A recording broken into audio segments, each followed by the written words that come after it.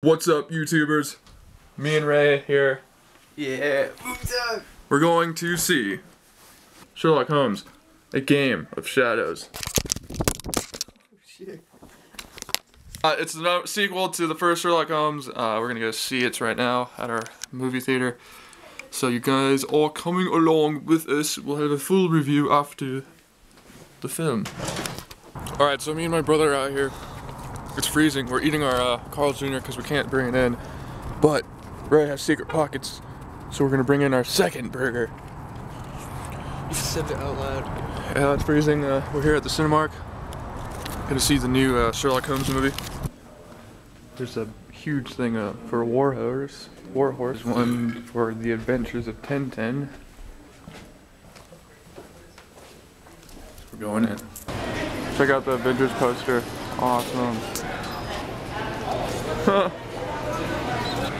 and we got the Men in Black posters.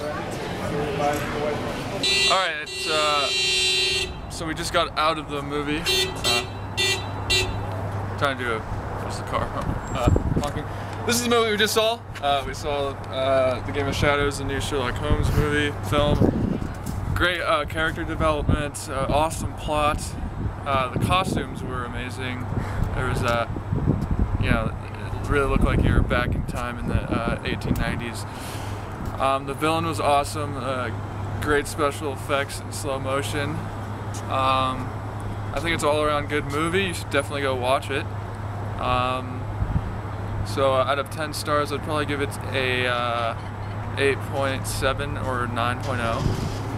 Uh, Robert Downey Jr. did a great job. It was an awesome sequel, and there might be a number three. So uh, yeah, um, the plot was great. Uh, it had you thinking. Uh, you have to follow all the clues. If you if you're not paying attention, you're definitely gonna get kind of lost. But then, then they bring it back up, up, bring you back up to speed with the plot.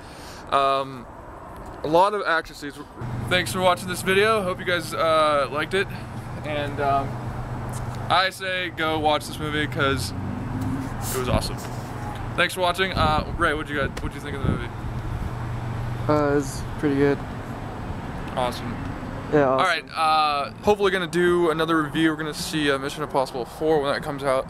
See you guys in the next video. Give me a like, sub, and subscribe. We're gonna freeze our asses off until we get picked up.